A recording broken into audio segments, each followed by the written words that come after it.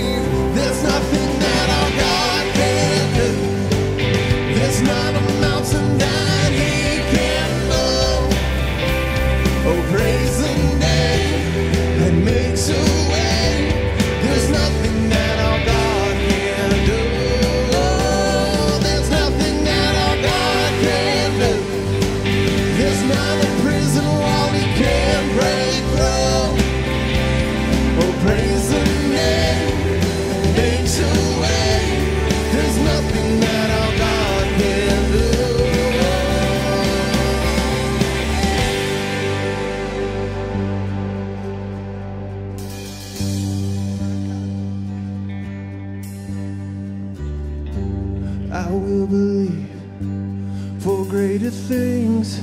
There's no power like the power of Jesus. Let faith arise, let all agree. There's no power like the power of Jesus. I will believe for greater things. There's no power like the power of Jesus. Let faith arise that all agree.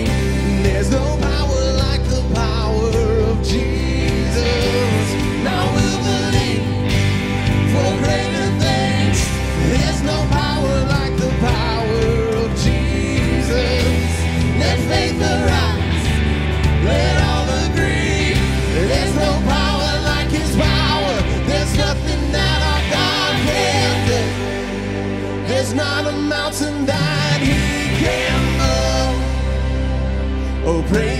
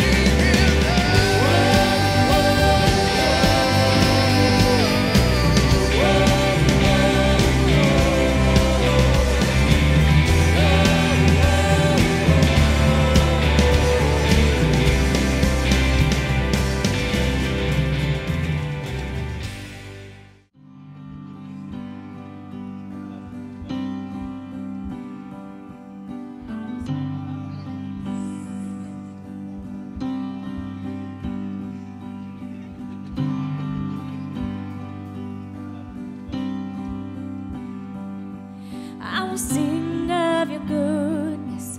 I will sing of your love.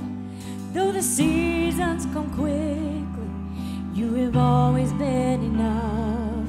And though the night may get dark, and though the waiting seems long, you have always been faithful to remind me of your love. Cause you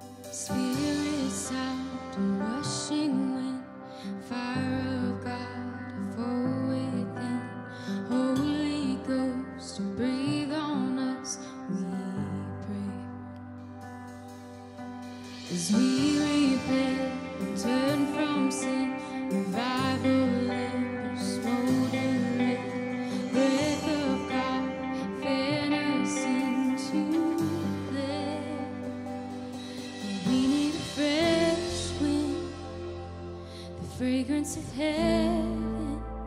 Pour your spirit out, and pour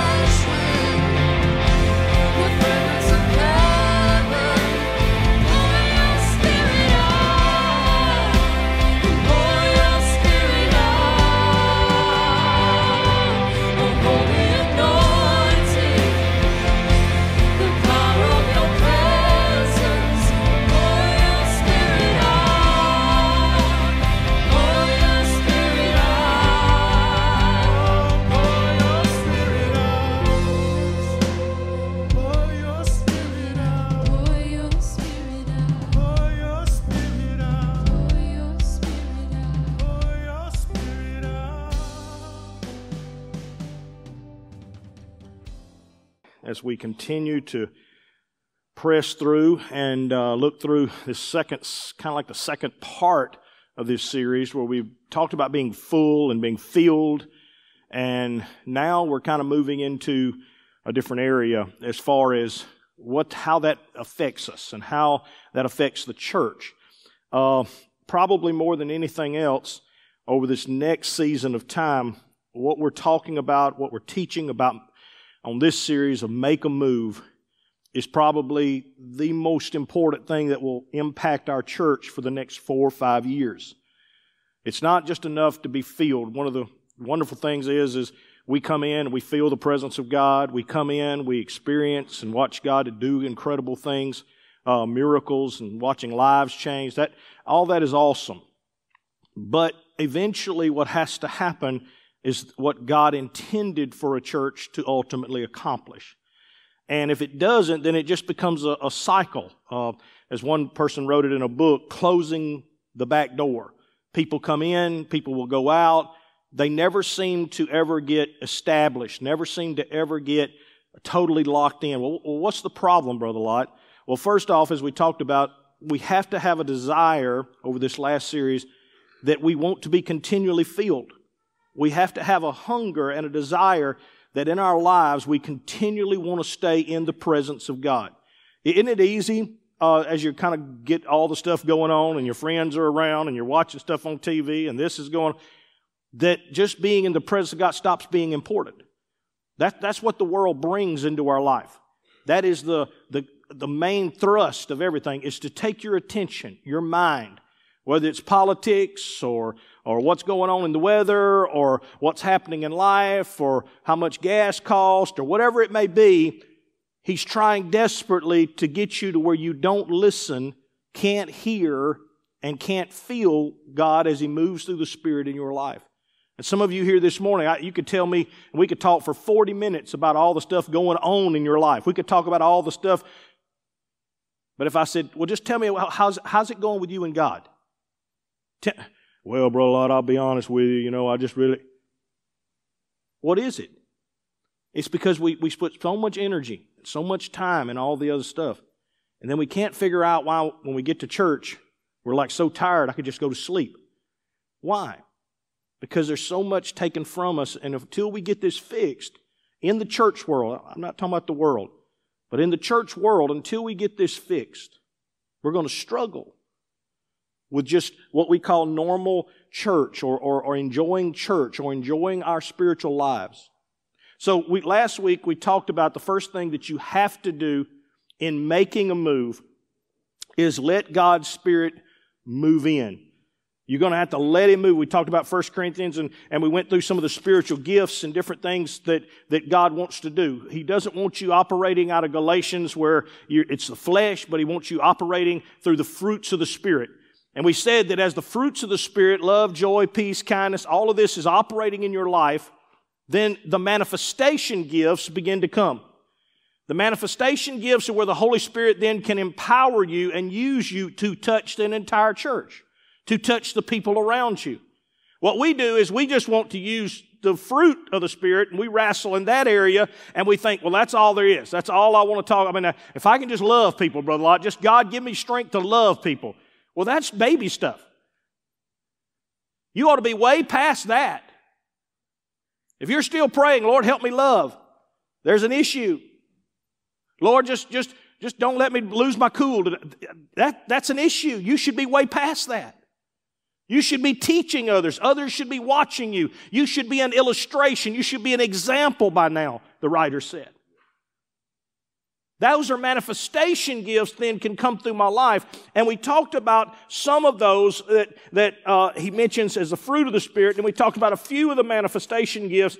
And let me reiterate those. We talked about the, uh, the Spirit moving in 1 Corinthians 12, 1 through 7. Wisdom, knowledge, faith, healing, miracles, prophecy, discerning of spirits, tongues, interpretation of tongues. But let me jump from there to where I want to go today. Part two, make a move. And here's what I want to talk about when I talk about making a move today. Look at the person beside you and tell them, it's time for you to be the gift. It's time for you to be the gift. Not to get a gift, not to receive a gift, but it's time for you to be the gift. Well, Brother Lott, I don't, I mean, I know we're supposed to come to church and get our blessing. We used to sing that song years ago. You know, come to the enemy's camp, take back what he stole from me. Take back. I mean, I know all about, you know, what I'm here to do is to get my stuff. I mean, he stole my joy, my happiness. He, he stole my past. He stole, I'm here to get my stuff. I understand all that. But in maturity as a Christian, what you need to begin to focus on once you get the fruit of the Spirit operating in your life, once you realize that God wants to manifest Himself in my life, think of it as a cup that's full and it's wonderful and it's great. But what God does is He wants to fill that cup to where it flows over the saucer, the table, and He wants to touch other lives. Let me read a few scriptures. Go with me to 1 Corinthians 12 and 28. 1 Corinthians 12 and 28. I want to go through a few scriptures and just show you that throughout this New Testament, this is what was taught. It's not some new theology. Here's what it says. And God has appointed these in the what? So that means God has put inside the church these gifts. Now we think of them as the things, as the actual things that are given, but I want you to think about it that none of these gifts can enter into the church unless they come through somebody. They are not gifts that we can just, you know, turn on the PA system and say, all right, now the gifts are fixing to flow. The gifts are flowing through people. And notice how he says this as God has appointed these to the church first apostles, second prophets, third teachers, after that miracles, then gifts of healings, helps of administrations, varieties of tongues. Go with me in your Bibles to 1 Corinthians 12 and 11.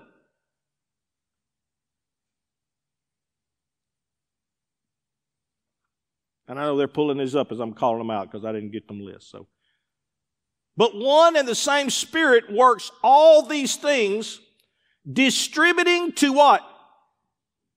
Each one individually. So you can't look at the person beside you and say, well, you know how we are. No, it's no we. There is no we in this. Every one of you sitting there, even though you're married to the person, even though you're kin to the person, they may be your mama, your girlfriend, your boyfriend, it may be your wife, your husband, none of you in this room, God is going to give the same gifts to. Individually, you cannot blame this on your spouse. You can't say, well, you're messing my life. No, they're not, they're, they're not responsible for this. This is strictly between you and the Spirit, but one and the same Spirit works all these things, distributing to each one individually as He wills. Go with me in your Bibles to 1 Corinthians 12 and 7.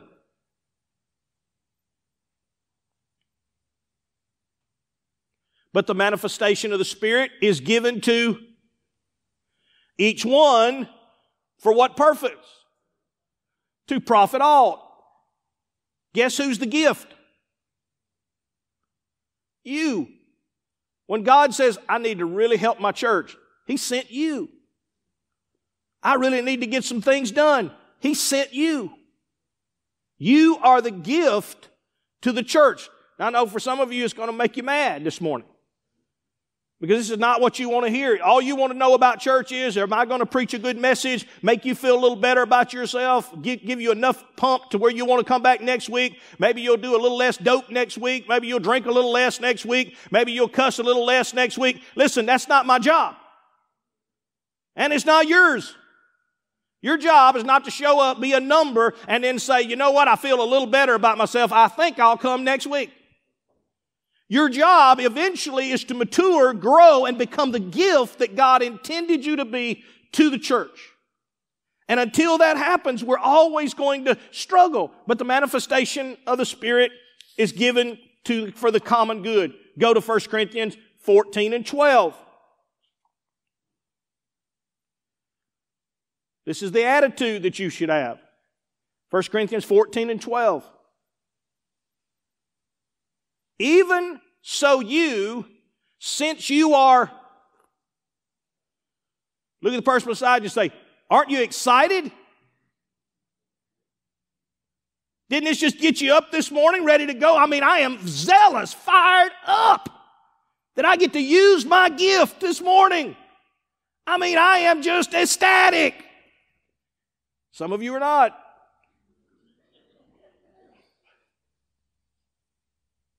Because you started off wrong. You came with the wrong purpose. You came with the wrong agenda. And let me explain what will happen. Eventually, you will fall out of church. Let me just go ahead and save you the whole headway. You will fall out of church. Because it's like going to Walmart every day, never buying anything. If I said, I need you to go to Walmart, what you need? Nothing. I just want you to walk around it. Then come back home. Tomorrow I ask you, hey, what, what can I do? I need you to go to Walmart. What you need? Nothing. Just go around, walk around, and go home. How long is it going to be before you eventually look at me and say, hey, what you need? I know you need me to go to Walmart. Yeah, I need you to go to Walmart. You going to do it? No. Why? Because nothing ever happens. We don't buy anything. We don't get anything. If you'll do that at Walmart, then why do you think it's any different at church? I'm not trying to be ugly. I'm telling you that until we get to the point to where you understand what church is for, until you decide I'm, I got to make a move in my life. And making a move first means letting the Holy Spirit start having His way, filling, growing, maturing, producing the fruits of the Spirit, starting moving on my life. But the second move is that I have to understand I am the gift that this church, that God is wanting to give all seasons. I'm the gift. Well, I wish our church would grow. You'll be the catalyst. Man, I wish people get saved. You'll be the catalyst. Even so, since you are zealous for I know everybody's excited about it. Brother Lott, what I want more than anything else in life is to produce more spiritual gifts. I just can't wait. I'm excited. Teach me more. Show me more. Help me get better at my gifts. Isn't that what you say every Sunday? No, that's what I dream that you would say every Sunday. That's what I wake up every Sunday morning thinking, today there's going to be somebody that's just going to get it. It's going to snap. They're finally going to come and they're going to say, Brother Lott, I'm all in. I'm all, and I'm like, yes. Because life will not change until this takes place. Let it be for edification of the church that you seek to. So you have to be careful, even when you come to church and say, well, I, I want more gifts, I want more understand why you want them. It's only so that other people can become better. Why do I want to be a better preacher? So that I can help others become better. Why do I want to produce more uh, things and, and more classes? And, and, and why do I want all seasons to be the best it can be so that it will produce better? And he says, listen, be excited, zealous about spiritual gifts and all that's going on, but do it for the right reason. I got a great compliment yesterday at a table, and, and, and it was Karen's mom. And, and she gets it. She doesn't even come here all the time, but she got it. She was sitting there, and, and as we were eating, and, and she said, she said, well, well, how many do you have coming through these classes and stuff? And then she stopped just to say, she said, I know you don't care about numbers. And I was just like, thank you. I got people in my own church that don't get it.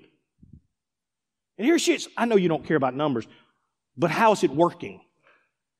Because the numbers will eventually re- reflect that you're working well. So on Wednesday night, when I say, well, I got 15 in PFCs and I got 19 in women's and I got 16 or 17 men doing their Bible study and I got all these things going on. And then yes, it does add up to be, quote, numbers, but what in overall, I'm thinking of look at the ministry, look at the lives that are changing, look at the world that we're touching, and that becomes the catalyst for what I'm doing. I got 20 something in Blasting Point, I got 20 something in youth, I got, I got 15 or 16 college age, I got, I, I could go on down the list. You're thinking, well, you don't, the numbers aren't there, but what the numbers tell me is, is that I'm touching lives. I'm touching that many lives. I'm, I'm ministering to that many people. And yes, I get zealous about spiritual gifts. I get zealous about my teaching. I get zealous about the preaching. I get zealous about them finding their place, using their gifts, finding their talents, because I realize that's how the kingdom, that's how the church, that's how all seasons itself will ever grow. This just becomes the result. I get all the time people like, well, I wish I had that. That's, that's not it.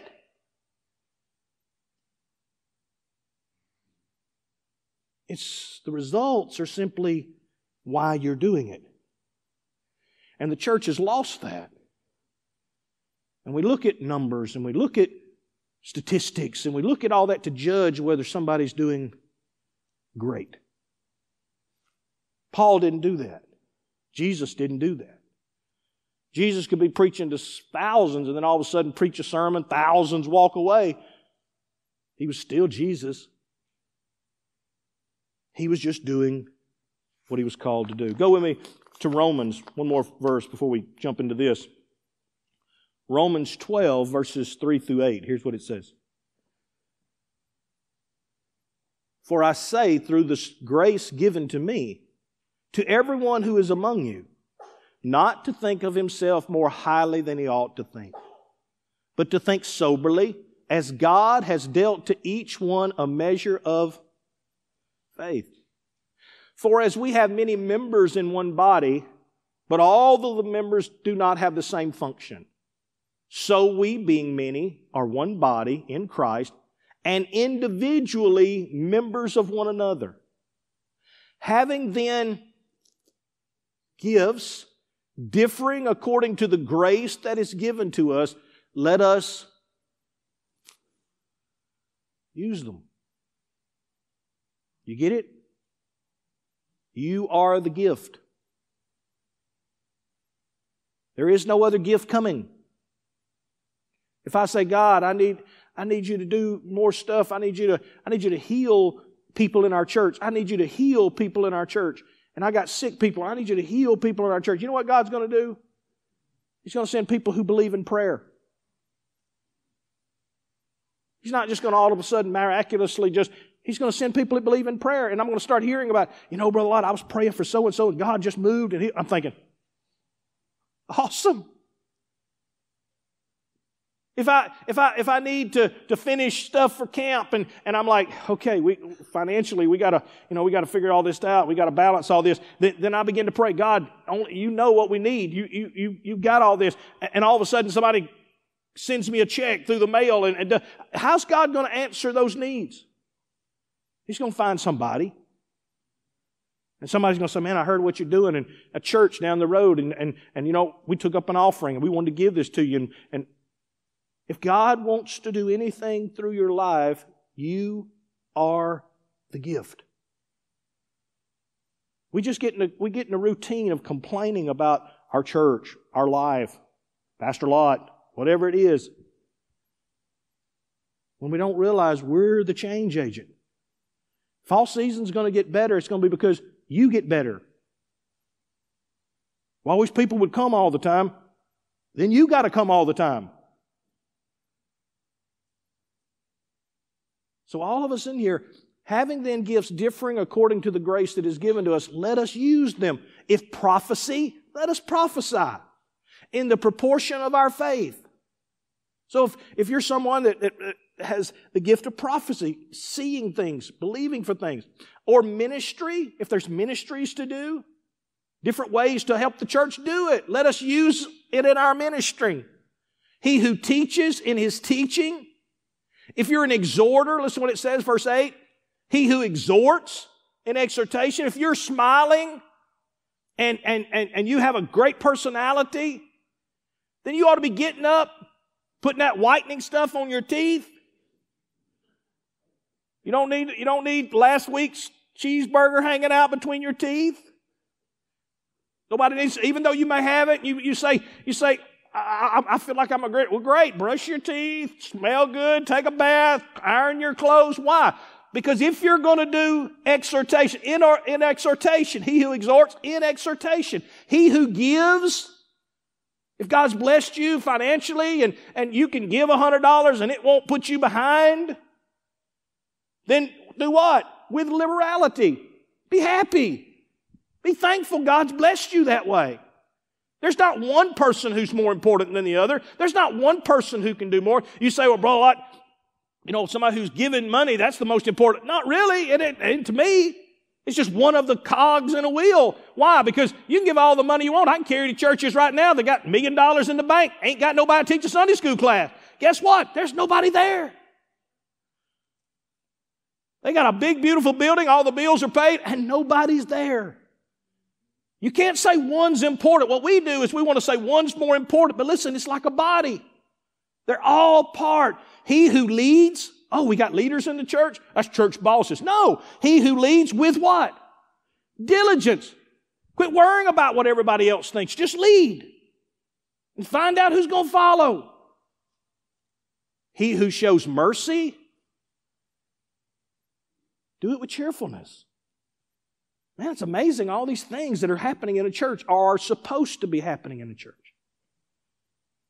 You can't look at one and say, well, you know, they do this or they do. Yeah, but you have a part to play. Every one of you in this room has a part to play.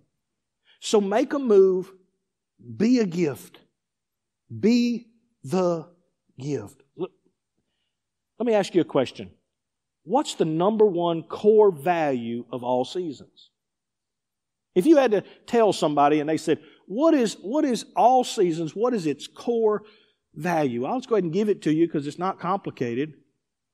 If you were to ask, it is the Bible is the authority for everything that we believe. People will ask, what denomination are you? Because they're not sure sometimes. People will ask, oh, oh, oh, tell me about your background or where you got your license from. That, that, but it doesn't take very long to come to all seasons to find out, well, what are y'all about? Well, we're going to open this Bible and we're going to stay right in it. I'm really not going to say much about the Clarion Ledger. I'm not going to talk about Fox News a whole bunch. I don't care what CNN came up with last night. I'm not going to preach to COVID all the time. I'm just going to preach what the Word and, and let the Word cure and fix and that's our core value that every, every week, Sunday or Wednesday, when you come, we're going to open this word and we're going to find out what God's word says and how that affects our life. That's our core value. So if that's our core value and if that's going to be our main thrust, then we have to do exactly what it says.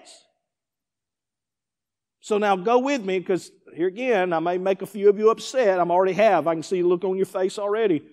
It's like, man, this is not making me feel better, Brother Lott. I'm trying.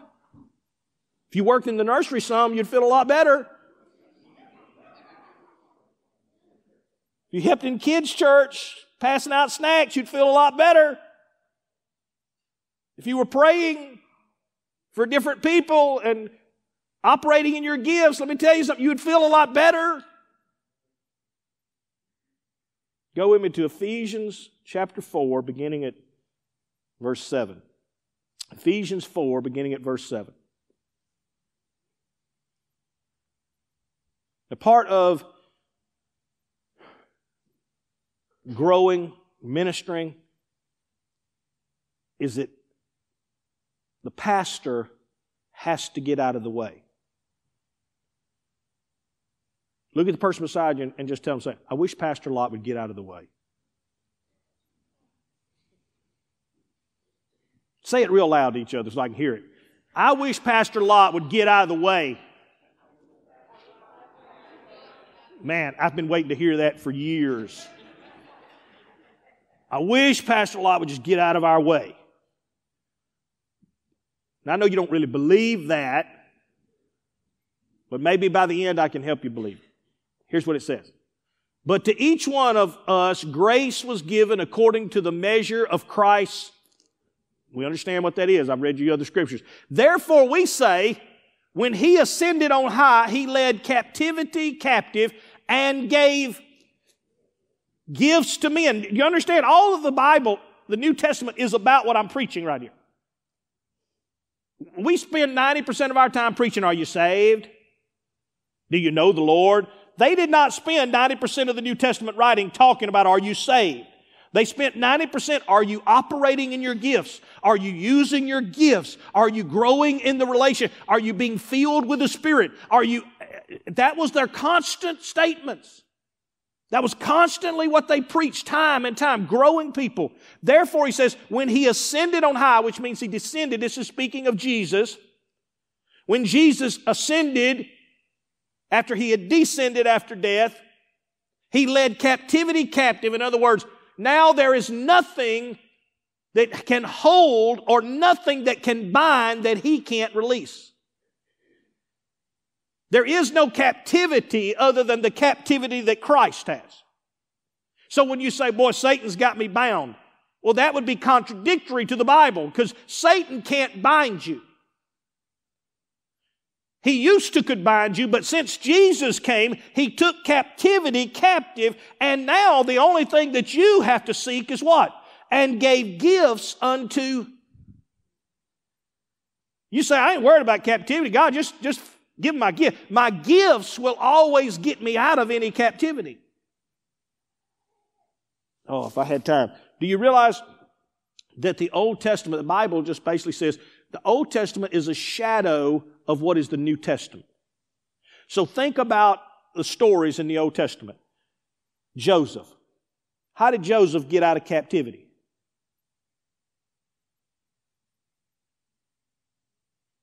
Talk to me. How did Joseph get out of captivity? His gifts. He was a dreamer. His gifts got him out. How, how did David come from being a shepherd boy to being the king. How, how did that happen? His gifts. Samuel said, God has chosen you, anointed him, and, and he, he had gifts. Go down through the Bible. How did Daniel get out? The gift of prayer. How did Shadrach, Meshach, and the gift Abednego escape? The gift of faith. See, what you don't realize is the answer to your problems the answer to your issues is inside you. And there was a time when Satan could hold that and bind that. And it was only when God moved upon a few people to show a sign uh, that how God could do it. But since Jesus came and died and rose from the dead, there is no more captivity. So now, therefore, every one of us in this room can cry out, you know what, devil, you can't hold me. You can't bind me. You know what got Tim Lott from, North, from Banks and Jones Street 28 years ago? You know what got me from there to here? My gifts. Oh, now don't worry, the devil's told me all the things I can't do. He's telling me all the things that I'm not good at. He's telling me all the things I'm sorry at, just like he does you. But you know what I kept doing? I kept leaning on my gifts. I'm just going to keep preaching my way out of this thing. I'm just going to keep praying my way out of this thing. I'm just going to keep dreaming my way out of this thing. And God, if you'll keep giving me gifts, I'll keep putting them into action. And as I keep putting them into action, then let it just be an astonishment to people how I got here. That's what David said. David said, God, I'm a mystery to people. I, I, I, people can't understand me, an old shepherd boy that got to here. But David says, I understand how it is because I've never trusted in my troops and I've never trusted in those things around me. And I've never trusted God. The only thing I've ever trusted in is you. David said, doesn't spend a lot of time talking about what God used to be or what God will be in the future. But he says, He is my shield. He is my fortress. He is my rock. David knew how to rest on his gifts. Mm. Okay. Now, this, he ascended what does it mean but that he first descended into the lower parts of the earth, speaking of his death and his resurrection? He who descended is also the one who ascended far above all the heavens, that he might do what? Fill all things. Guess what a thing is? He said, I ascended so that I could feel all things. Not just nature, not just the stuff that you see on the outside, but to feel all things. And he himself gave some to be what? Apostles, some prophets, some evangelists, some pastors, and some teachers. For the equipping of the saints for the work of, for the edifying of the body of Christ, till we all come in the unity of the faith and of the knowledge of the Son of God, to a perfect man, to the measure of the stature of the fullness of Christ, that we should no longer be children tossed and fro and carried around by every wind of doctrine, by the trickery of men in the cunning craftiness and deceitful plotting. But speaking the truth in love may grow up in all things into Him who is head, which is Christ, for whom the whole body, joined and knitted together by what every joint supplies, according to the effectual workings by which every part does its share. Get it? Causes.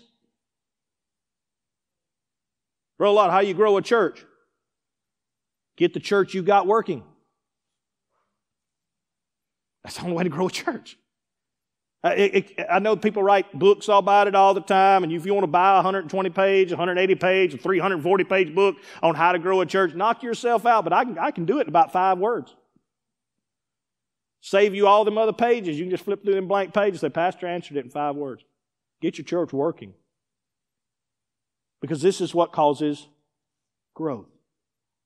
Just like your body. You want your body to grow? You got to move. You got, you got to get active. Otherwise, it'll be unhealthy. Blood vessels will shrink.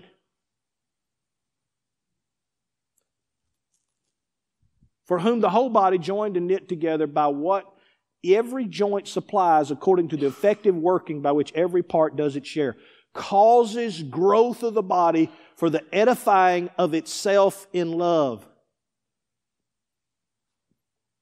Verse 17. This I say, therefore, and testify in the Lord, that you should no longer walk as the rest of the Gentiles walk, in the futility, the futility of your mind, having their understanding darkened, being alienated from the life of God because of the ignorance that is in them, because of the blindness that is in their hearts. And it goes on. Who says that if you stay in this, you will move past feelings. You sit in church long enough, unconnected, uncommitted, unactive. Let me tell you what will happen. You will lose feeling. Isn't that a bad thing when you sit on a chair or do something for a while and it's done cut off the circulation to part of your leg and then all of a sudden you try to stand up and you're like, oh my goodness. Why? Because you cut off circulation. It created deadness. And the only time it hurts is when you begin to try to do what? Move it. Guess what's going to happen? Let me just go ahead and break this to you. You know what's going to happen the moment you start doing what I say? And you start getting active in church? Look at the person beside you and tell them, it's going to hurt. Bro, a Lott, I got in church because I, you know, I won't feel good, and, I want, and you will. But them first few months, weeks, years, it's going to hurt. And I wish I could spare you of that. But everything that I've ever grown into becoming has been because I was willing to go through the season of hurt. Yes, being here, you think, well, here's great, brother. Yes, but there also were years, Sheila, of hurt when it wasn't easy, when it, when, when, when it was a struggle every step of the way. But that's part of growth. So let's look at this morning the important truths about this. Before we do, let me explain to you what those roles of what we just read prophet, evangelist. Okay. The best way I can do this is to, as, as one writer does, sometimes I steal information. Is that okay? Y'all like stealing information? I do. Somebody does write something good, ain't no sense in me rewriting it. So I just steal it. I'm a professional thief. But only good stuff. All right. So let's look at the gifts. And what I want to do is, um, okay. So you may know your gifts by how it affects you. So let's look at the gifts. Apostles. Now, what is an apostle and how does it work? All right. An apostle in Jesus' time was somebody who was a foundational part of the church. The Bible says is that Jesus is the chief cornerstone and uh, on him and with him in the foundation are the apostles. Okay. Does that make sense? So all the original teachings, what you have in your Bible, all of that was written in the first 60 years after Jesus' death so that it could be a canon. It could be canonized so that it was truth. That's why when people come out with, uh, you know, the book of Judas, and they're like, why don't you put the book of Judas in there? It's, it's just a writing. No, it's not. It was written in 344 AD. There was nobody to verify any of the things that they're saying. One of the scriptures makes it very clear when Paul is writing and writing these letters that are eventually canonized, he says in those letters, he says, listen, y'all well know that there are people with you and among you that can verify everything that I'm writing in this letter, what Jesus did. In other words, there are people that are alive with you right now that saw Jesus on the cross. There are people with you right now that can testify of the miracles that he did at Galilee because there are people that were there. That's why we don't want to come back 100, 200, 400 years later and say, oh, we found these writings in a cave. I don't care where you found them. I don't care if I sit down today and write some more stuff. It, it, there's nobody to verify it. Therefore, this is the canon. And what the apostles were, they were the people who canonized those teachings. So, what is an apostle today, Brother Lott? An apostle today is someone who stands on the apostles. Remember, even if you go to certain denominations, you read every day the Apostles' Creed. Why? Because it's built in that our job as apostles of a church, we would title them more this time, this age, like this elders, deacons. You ever heard those terms? They are the bedrock people of a church. Elders, deacons, and people of this nature, they are the people that are supposed to be the people that says, no, this is the truth that we're going to build this church on. This is the truth, and we're not moving from this. We're not, we're not adjusting from this. We're not, these are biblical things that we cannot move from. So let me show you what an apostle would get upset about. If you say, well, I may have, do I have any apostle in me? Well, let's see. Sometimes they want to take over the whole world and get frustrated at others because they don't understand the Lord is saying, go take it from the devil.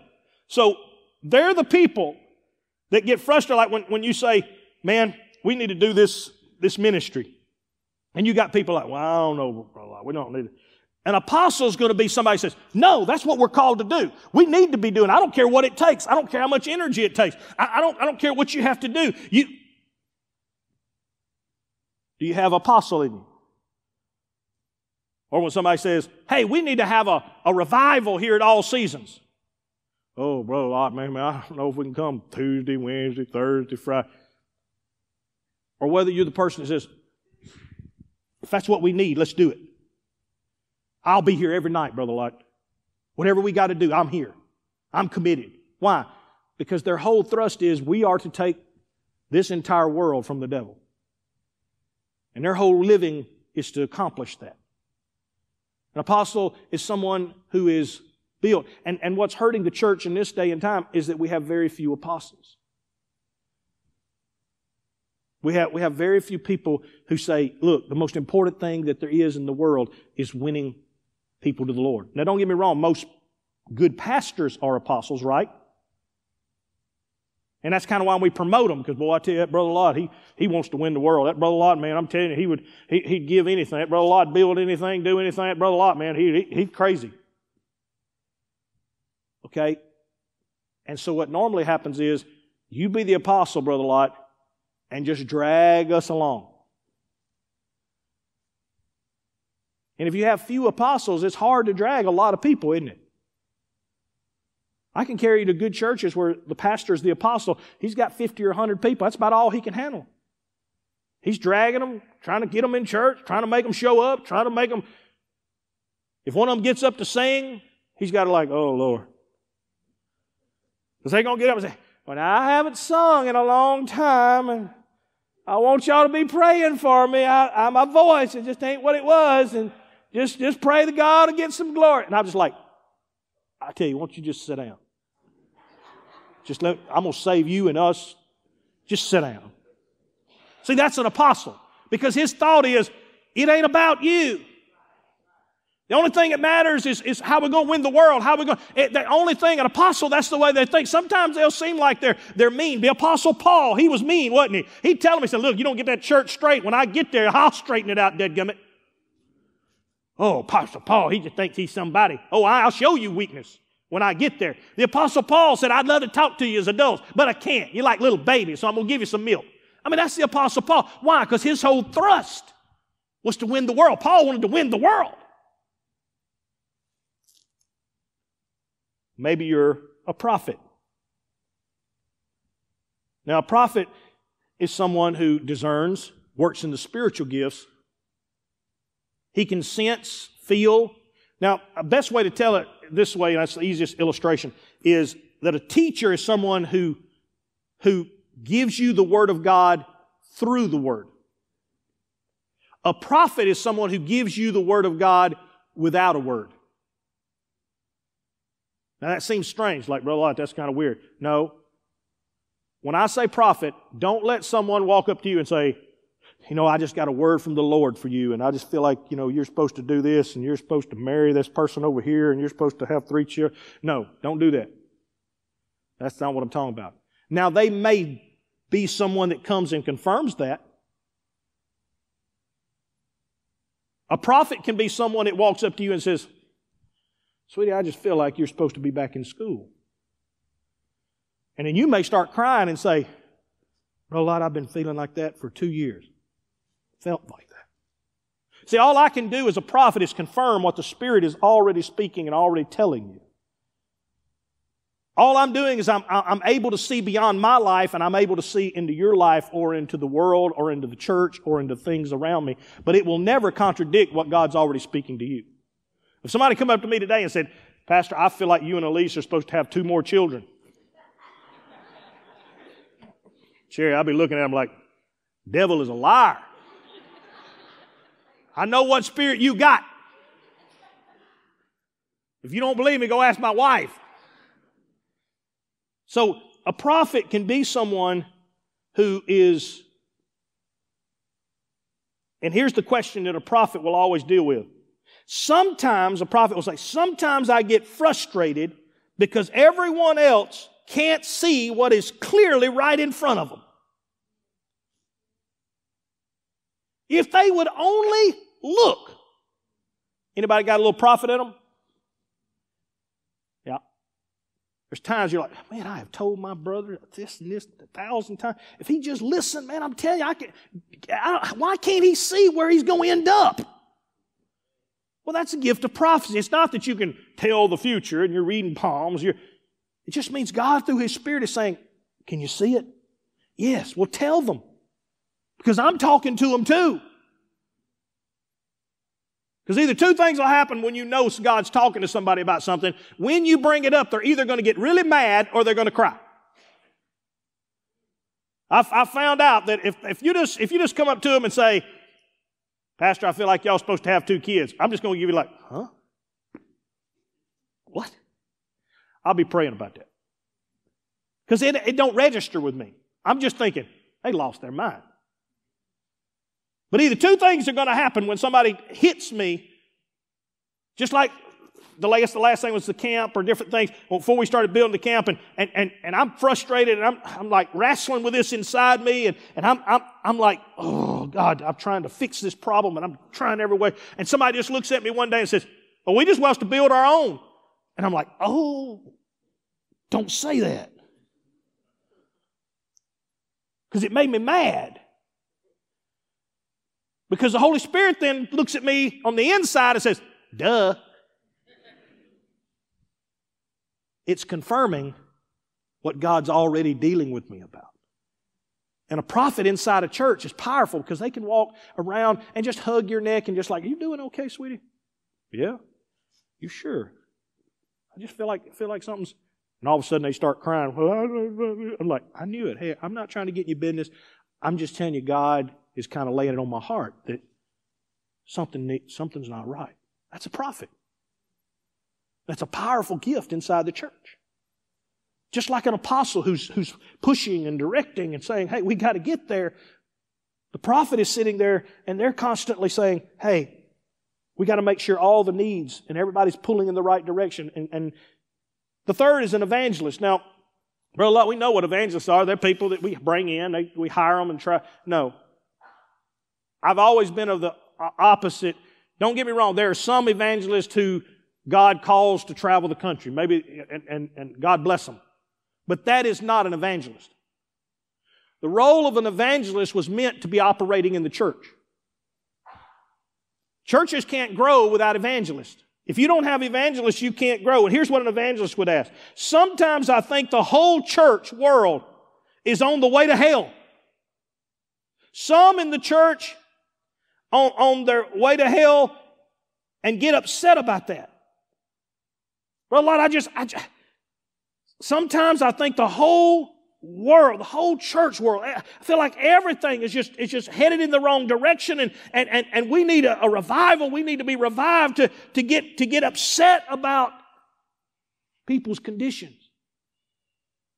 I got people in my church, man. I've had some through the years that, that go door to door, street to street, and drive around, and they can't stand the thought of people. If, if what excites them the most is watching people getting baptized or watching someone get saved or watching their life changed. The role of an evangelist is inside the church, and what they are, are they are the one that are constantly have a burning hunger to see the world come to Jesus. See, if you have a church that has good teaching, good thing, but nobody cares about the lost, you're not going to grow. See how all these have to work together? An apostle has to be saying, guys, we got we to keep pushing forward. We got to keep believing. We got to keep growing. We got to keep. And then the prophet is sitting there intermingling in, among people, and they're constantly making sure everybody, the sheep, are not falling behind. That God is speaking to them, and they're able to keep to keep like so and so. I'll get a phone call. They'll say, "Brother Lott, did you know about brother so and so?" No, I didn't. I, he didn't call me. I didn't know anything about it. That's okay. I just felt like something. I called him and I went to eat with him last week and man, we prayed and had a good thing. And, and I thought, that's awesome. Get out of the way, Pastor. Get out of the way. But here's the thing you have to, you have to push me out of the way. You have to say, Pastor, get out of our way. Now, does that mean, bro, you ain't to have nothing to do? No, no, I got a job. Because the next one is called a preacher and teacher. Guess what? That's what I do. Pastors. Sometimes a pastor will say it this way I get the idea that all the people need is the gift of, of the pastor so they don't have other ministry gifts in their church. Pastors sometimes get the idea that all people need is the gift of the pastor so they don't have other ministry gifts in their church. Of all the things I have to teach young pastors and teach young preachers, this is it. Get out of the way. Brother, I, am telling you what, I, I, want so I want to get this new class started. Well, then pick somebody and let them teach it. Oh, I'm telling you, I ain't got nobody in my church that's qualified for that. Well, you're never going to have anybody in your church qualified because they're not you. I'm going to say this, and I don't mean it ugly. I can teach every class in this church better than who's been teaching. Now, I'm not going to be as organized as, as some, Jennifer and them. Ain't no way. I don't have those skills. But my heart is for every, every ministry in this church extends from, it started from Pastor Lott years and years ago. So I understand that, yeah, I could go into PFCs and tell Kirkland, here, sit here and watch me teach PFCs. Hey, let me go to the youth class. I've done youth. Man, I did youth for years. I can go teach youth. Man, let me work with it. I can do kids church. Man, I can blow. In fact, I spent this week helping Kirkland, if you go to the gym, building and redoing his set for his new kids church stage and everything. Man, I was having a boss. He's like, he's like, this is cool, Pastor Lott. I'm like, I have a lot of cool things. I can do a lot of cool things. I just can't do them all. So what do you do? You just don't have them? No. No. I realize that God will take the gifts of those people that are different than mine, and maybe they'll do it differently, but it'll be better. It'll just be different than the way I would do it. Most pastors can't think like that.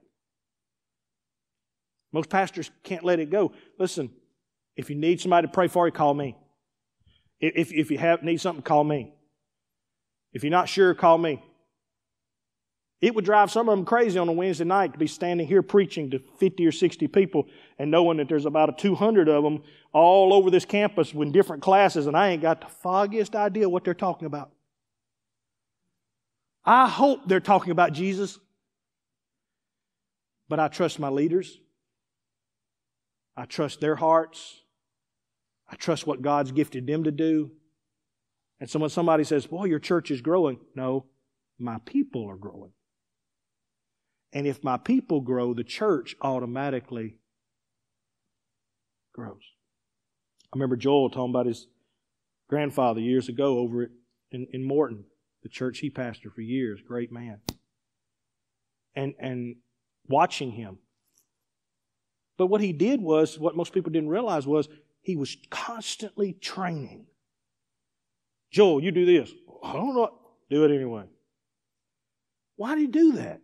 He could have done it himself twice as good as Joel. But Joel couldn't have grown. It takes incredible, real pastors. And I'm not saying people aren't good pastors. I'm saying it takes incredible pastors to reach the point to where you realize my purpose in life is to grow the people in my church. And to teach it. Let's go back to Ephesians, where we were just at. And let's reread that one more time. Pick up at verse 11 in Ephesians, verse 11. And to him himself gave some to be apostles, some prophets, some evangelists, some pastors, some teachers. Oh, brother Lott, if we got all this going, the church is good. No. Notice what he said. For the equipping of the saints, for the work of. So why is Jennifer and Stacy in Blasting Point? So that they can equip 10, 11, 12 year old kids to be better Christians than they've Their job is a success when they have accomplished that goal. This, this weekend, we had our, about 29 of our college age teenagers went to uh, Winterfest. And they were excited. They, texted Elise last night. In fact, I eventually called her and was talking to her on the phone. I'm like, who in the world's calling this time in the morning? They were all excited. Several of them had, had, had been refilled. Four of them received the baptism of the Holy Spirit, fresh and new. Man, I'm telling you, they were, they were fired up. So, you know, I should have been on that trip. Sherry, if I'd have been on that trip, it would have gone a little bit better, probably. No. Greatest thing I could do is allow my equippers to equip. And watch God do something that, Pastor, if you'll just get out of the way, let us do what we're called to do. Now, does that mean I don't have a role? No. If you get out of line, I will yank a knot in you. That's my job. But I don't need to be worried about all the knots. If we work this way, for the equipping of the saints, for the working of ministry, for the edifying of the body of Christ. Till we all come into the unity of the faith of the knowledge of the Son of God to a perfect man, to the measure and the stature of the fullness of Christ.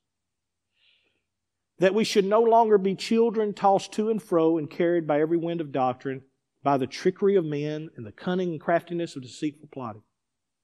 But speaking the truth, that we may grow up in all things to Him who is the head, who is Christ for whom the whole body is joined and knitted together by what every joint supplies. Now, that what every joint supplies there, it uses the word ligament. Your Bible may say ligament. Let me show it to you this way. When I was young, I was, I was one of the fastest people in this state. I could run. I loved sports. I loved. And, and, and you would think, well, Brother Lott can't nothing stop that. And God showed me in one basketball game while I was doing something I've done a thousand times, make a layup. I landed awkwardly, and I heard something, oh,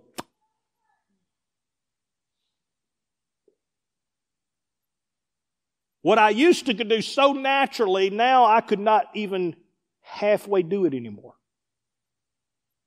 Two ligaments torn.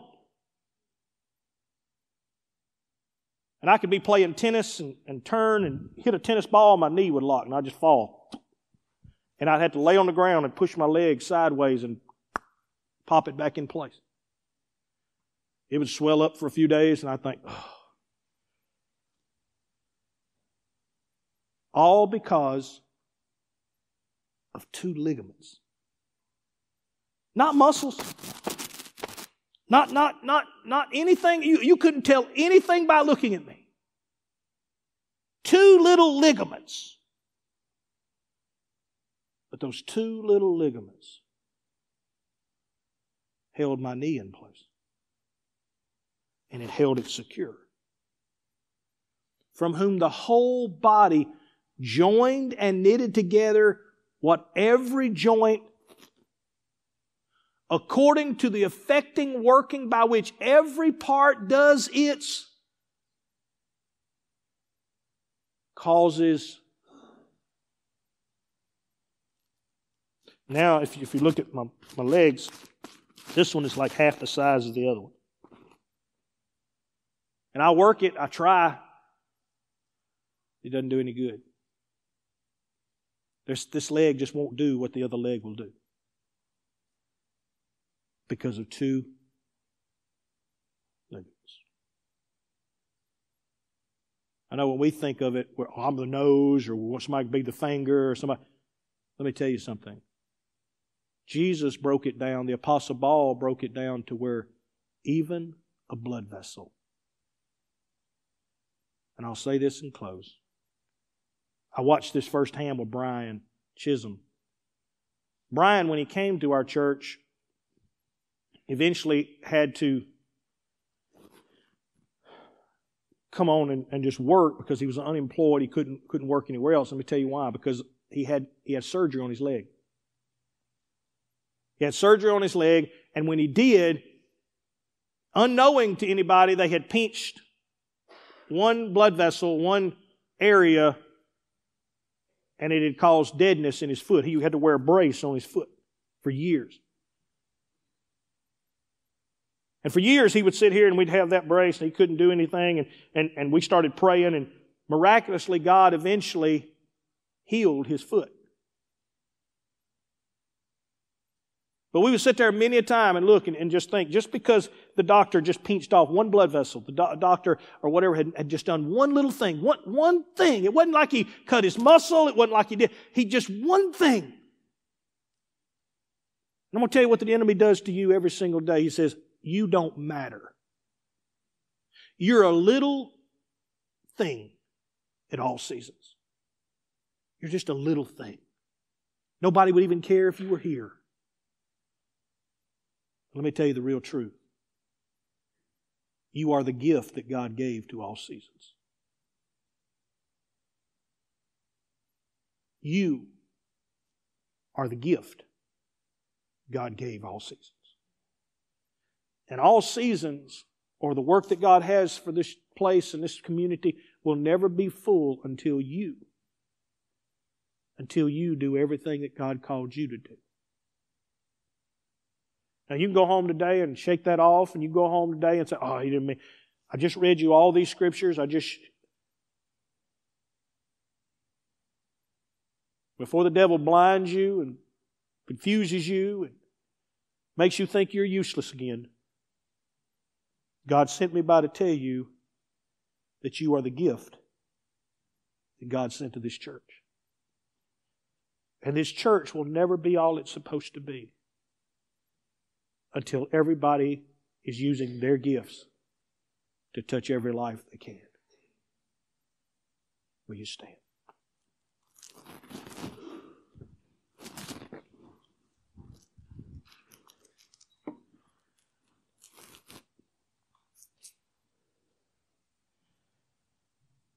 Make a move. Every one of us has to make a move.